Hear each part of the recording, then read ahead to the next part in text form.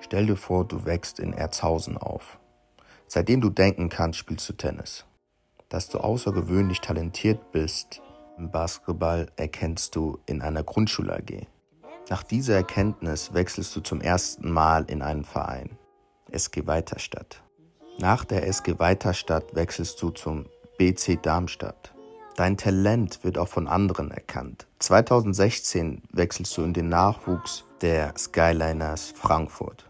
Deine Schulausbildung absolvierst du auf der Eliteschule des Sports. In der Saison 2017-2018 wirst du als bester Spieler der Jugendbasketball-Bundesliga ausgezeichnet. In derselben Saison gibst du deinen Einstand in der zweiten Mannschaft. Im Dezember 2019 wirst du zum ersten Mal in der Bundesliga eingesetzt. Heute spielst du bei Hamburg Towers. Dann bist du Len Schormann.